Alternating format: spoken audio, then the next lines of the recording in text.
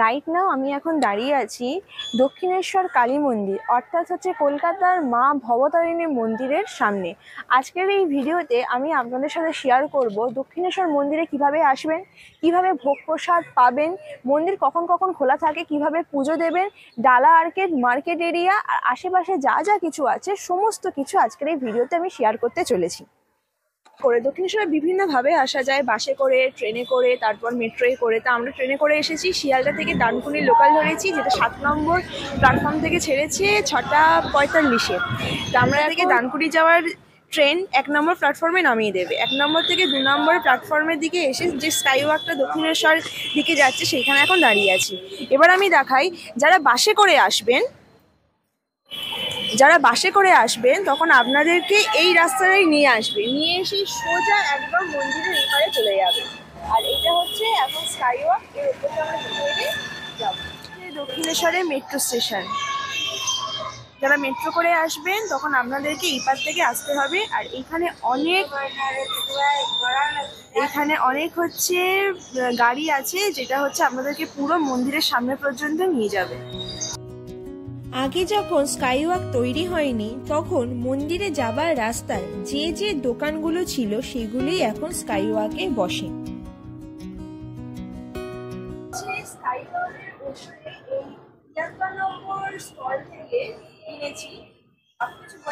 হ্যাঁ বলছে এখানে পুজোর ডালা নিয়ে গিয়ে মায়ের কাছে দিতে হয়।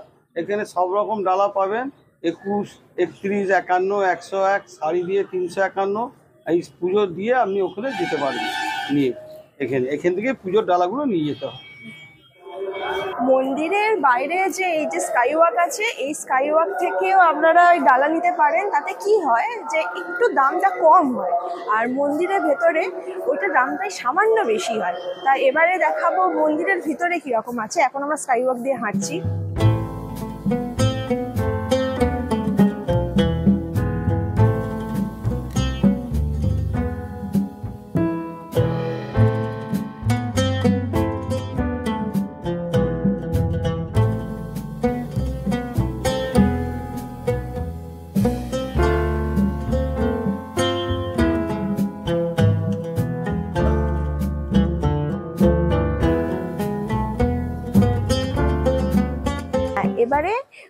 দক্ষিণেশ্বরের মন্দিরের ওপেনিং টাইম কি আছে? ওপেনিং টাইম হচ্ছে সকাল ছটা থেকে সাড়ে বারোটা পর্যন্ত আর বিকেল সাড়ে তিনটে থেকে সাড়ে সাতটা পর্যন্ত। সন্ধেবেলা এখানে আরতি হয়।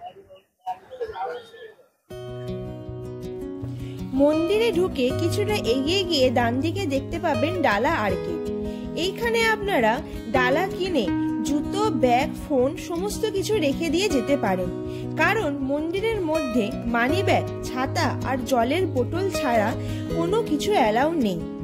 এছাড়া আপনারা বাইরে যে কাউন্টার আছে, যেখানে জুতো, ব্যাগ, ফোন সমস্ত কিছু জমা দিয়ে মন্দিরে প্রবেশ করতে পারেন। আর যারা হচ্ছে নিজেদের গাড়ি নিয়ে আসেন, যেমন টু হুইলার হোক ফোর হুইলার হোক, কোনো অসুবিধা নেই। এখানে বিরাট পার্কিংয়ের এলাকা আছে। এইটা হচ্ছে টু হুইলার্স আর এইটা হচ্ছে টু হুইলার্স পার্কিং করার জায়গা। আর এই পারে আছে ফোর হুইলার্স পার্কিং করার জায়গা। আর ওই হচ্ছে মন্দির। আর যারা হচ্ছে মন্দিরে পুজো দেবেন, তাদের হচ্ছে ঠিক এইখান থেকে লাইন শুরু হচ্ছে। ঠিক এইখান থেকে লাইন শুরু হচ্ছে আর সামনে। এইখান থেকে যে গেটটা করে দিয়েছে, এইখান থেকে লাইন শুরু হচ্ছে আর এখানে লেডিস আর জেন্টস দুটো হচ্ছে সিকিউরিটি চেকিং আছে। লেডিসের জন্য আলাদা আর জেন্টসের জন্য আলাদা। এবার তাহলে একটু মন্দিরের ইতিহাস ঘেঁটে দেখা যাক। আঠারোশো সাতচল্লিশ সালে রানী রাসমণি কাশি যাবেন ঠিক করেন কিন্তু যেদিন তিনি যাত্রা শুরু করবেন, ঠিক তার আগের রাত্রে মা কালী স্বপ্নে দেখা দিয়ে তাকে বলেন, কাশি যাওয়ার কোনো প্রয়োজন নেই। গঙ্গার তীরে এক টুকরো জায়গায় আমার মন্দির প্রতিষ্ঠা করে পুজো কর। তা সেই মতোই দেবী স্বপ্নাদেশ পেয়ে রানীমা আঠারোশো সাতচল্লিশ সালে গঙ্গার তীরে উত্তর চব্বিশ পরগনা জেলায় একটি জমি কিনে মন্দির তৈরির কাজ শুরু করেন। প্রায় আট বছর পর আঠারোশো পঞ্চান্ন সালের একত্রিশে মে মন্দির প্রতিষ্ঠা হয়। এইভাবেই মা ভবতারিণীর পুজো শুরু হয়। মন্দিরের প্রথম পুরোহিত ছিলেন রামকুমার চট্টোপাধ্যায়। কিন্তু তার মৃত্যুর পর ছোট ঠাকুর অর্থাৎ শ্রী শ্রী রামকৃষ্ণ পরমহংসদেব প্রধান পুরোহিত হন দক্ষিণেশ্বর ভবতারিণী মন্দিরে। তো এখন এসেছি এই যে ডালা আর্কের পিছনে দেখতে পাচ্ছেন, এই ডালা আর্কেটের পিছনে, এই হচ্ছে মার্কেট এরিয়া। এবার এই মার্কেট এরিয়াটা একটু এক্সপ্লোর করা যাক। ওই তো এই এই এটা ষাট টাকা দাম? হ্যাঁ আমার সিঙ্গেল আড্ডাই। এটা ষাট টাকা। এটা বড় নেই? এর থেকে? এই যে মার্কেট এরিয়া দেখতে পাচ্ছেন, এখানে আপনারা সমস্ত কিছু ধরনের পেয়ে যাবেন। এই যেরকম ফটো তারপর এদিকে মূর্তি, ঠাকুরের মূর্তি, এমনকি এখানে খাবার দোকান পর্যন্ত আছে। বিভিন্ন ধরনের খাবার দোকান রেলপুরি চাট আইসক্রিম সমস্ত কিছু।